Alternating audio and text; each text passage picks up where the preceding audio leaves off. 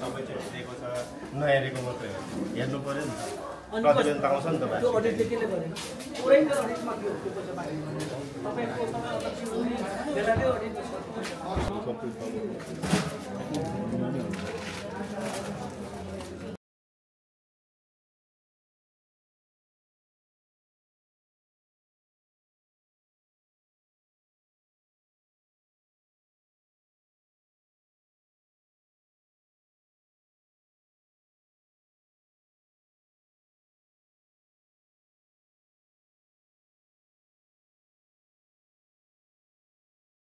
두바라. 두바라 이렇게 백시만 더 먹어